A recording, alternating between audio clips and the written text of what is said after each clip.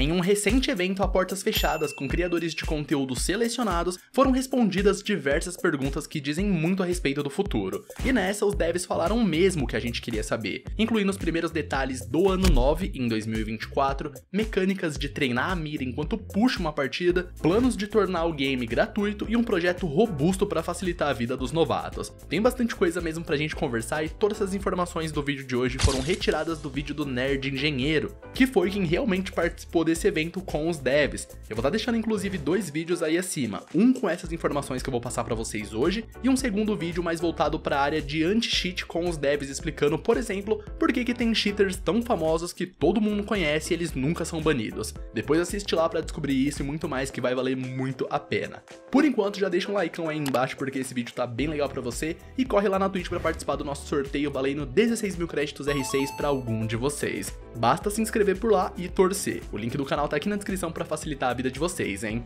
Tamo junto, partiu!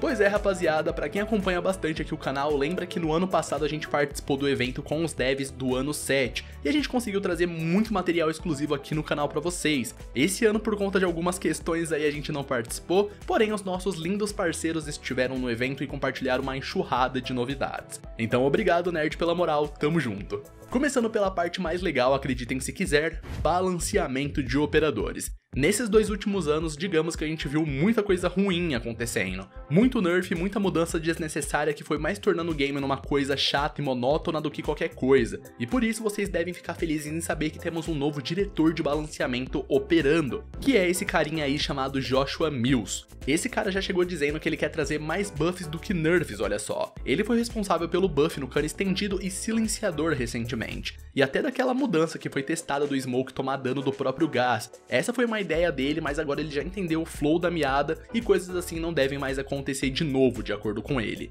O Joshua está sendo responsável em revisitar todos os pontos do jogo. Ele disse querer apimentar mais as coisas, entre aspas. Ele quer realmente mexer em todos os pontos do jogo, então preparem-se porque em 2024 vão ter mudanças grandes a caminho. Só que ainda em 2023 a gente já sabe de algumas coisinhas, como o Blackbeard e o Green que a gente já tinha recebido a confirmação através de entrevistas em fevereiro que sim, eles serão retrabalhados ainda esse ano, só que agora, com essas novas informações a gente descobriu que o Castle também tá nos planos para ser retrabalhado. Será que finalmente aquela mudança dos painéis versáteis para os defensores serão lançados? Eu ia curtir, hein?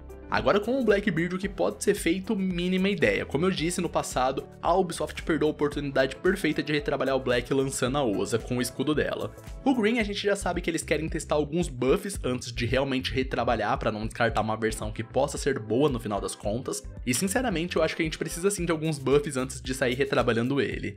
E outra novidade muito legal é que aparentemente os nerfs em massa graças aos gráficos de presença e vitória não vão continuar acontecendo toda hora. Foi questionado se eles pretendiam nerfar a Iana por conta da alta presença dela no gráfico, e eles responderam que não, porque nem sempre um operador está lá na frente quer dizer que ele tá forte. E caras, vocês não sabem o alívio que é ouvir isso, porque a Iana é um claro exemplo de operador que não é quebrado e só tá sendo popular porque as outras opções foram nerfadas sem parar. Se você for comparar, a Iana atual tá até mais fraca se comparada com aquela Iana de 2020 da Void Edge. Então é legal eles terem percebido isso, mas me preocupa a incongruência quando eles baniram o Oryx e o Capcom por conta da presença alta. Mas vamos tentar confiar nessa informação pra gente ficar otimista.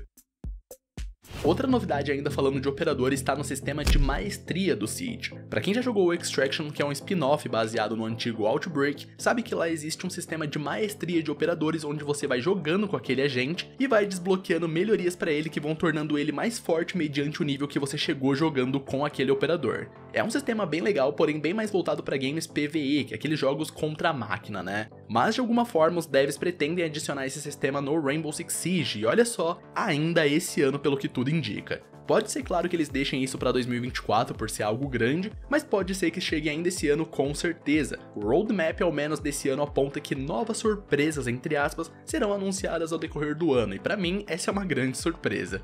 E agora, não falando de operadores, mas sim de algo curioso, os devs comentaram que o modo mata-mata que a gente passou anos pedindo por, ele simplesmente foi um fracasso. Exatamente dessa forma, eles comentaram que o TDM foi um fracasso, de acordo com eles por ter poucas pessoas jogando e eles terem recebido um feedback diferente do esperado da comunidade a respeito do modo, e que por conta disso não devemos mais ver mapas exclusivos para o TDM como Close Quarter, por exemplo. Eles comentaram ainda que não pretendem remover o modo por conta disso, eles vão manter ele por lá por mais que seja um fracasso e sendo bem sincero, eu acho injusto taxar o modo dessa forma, porque tem diversas melhorias que a gente tá pedindo e eles estão ignorando aparentemente. A mecânica mesmo de recuperar vida após eliminar algum adversário é o ponto mais solicitado e nada até agora. E isso, querendo ou não, é algo super importante e motivador para você jogar o TDM em qualquer jogo, tá ligado? Então eu acho que esse fracasso, entre aspas, tá subentendido sim e dá para melhorar a situação com pouca coisa.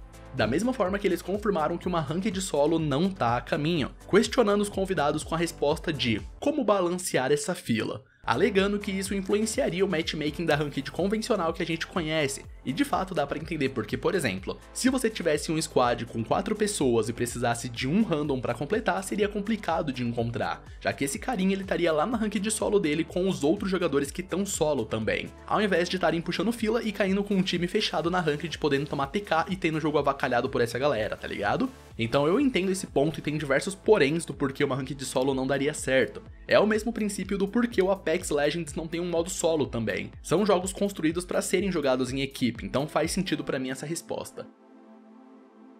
Outra questão comentada foi a respeito do Spawn Peak, se ele tem planos de remover ou alterar essa questão para proteger os atacantes de sofrerem os famosos Spawn Peaks. E eles deram uma resposta bem aberta, daquele tipo pode ser que mexemos como pode ser que não. E eles complementaram dizendo que você precisa pensar que se muitos jogadores estão picando, o bomb está desprotegido, então querendo ou não, é uma tática do jogo. E sendo bem sincero, eu não concordo muito com essa visão. Porque sim, tá, pode ser uma tática e tal, mas penso tanto de gente que desmotiva em aprender o jogo por tomar spawn pick toda hora. A gente já sabe 100% que a casual não é um cenário legal para os novatos aprenderem o game, e na ranked mesmo nem se fala. Agora imagina o tanto de gente que perde motivação em ficar tomando spawn pick toda hora tendo que aprender o que cada operador faz, qual a melhor tática em cada um dos 24 mapas, como controlar cada arma e tudo que o Seed tem para te ensinar. É muita coisa e eu já ouvi de muita gente que abandonou pela complexidade da parada. Então aquilo de ah, mas eu aprendi tomando spawn pick, então por que, que os novatos não podem aprender assim?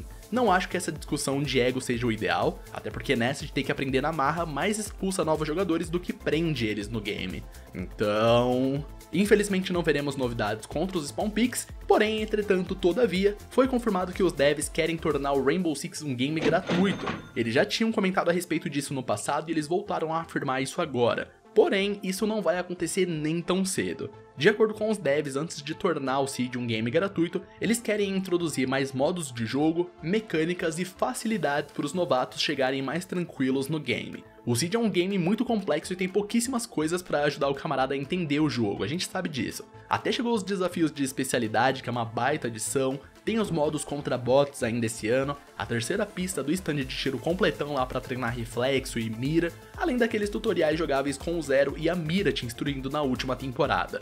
Porém, o plano é ter essas facilidades para os novatos antes de tornar o game algo free to play, o que pode acontecer somente após 2025. Ah, inclusive uma informação que pode ser interessante para vocês. A gente não tem muitas informações a respeito do que vai acontecer no rework do modo casual, porém um dos devs já confirmou que a ideia é tornar o modo realmente mais leve e rápido que as partidas ranqueadas. Então a gente pode estar tá falando de um modo com 2 minutos e meio de duração ao invés de 3 minutos, ou sem fase de preparação, quem sabe. Não sei o que pode ser esse mais rápido que o dev confirmou, porém a principal novidade da Casual 2.0 será um modo de jogo mais leve e rápido mesmo, chegando em setembro na terceira temporada desse ano.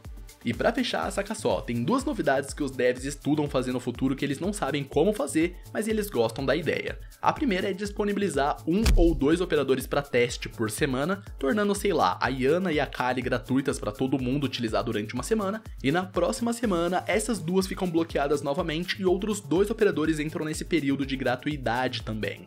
Ou se eles não fizerem nesse formato, eles querem colocar todos os operadores desbloqueados na caça terrorista para a galera testar e conhecer os operadores que eles ainda não têm. Novidade muito legal, porém saca só. Mesmo sabendo que vai ser difícil implementar e que vai pesar imensamente o game, os devs querem adicionar um modo de você acessar algum treino enquanto puxa a partida. Ou seja, se você quisesse acessar um caça terrorista ou stand de tiro enquanto puxa aquela ranqueada, isso seria possível, mano, olha só. É uma novidade gigantesca e os devs, como eu disse, não sabem ainda como fazer isso acontecer, mas eles gostam da ideia e eles querem fazer isso sair do papel o quanto antes. E se isso se tornar realidade, eita que vai ser maneiro demais, hein, rapaziada.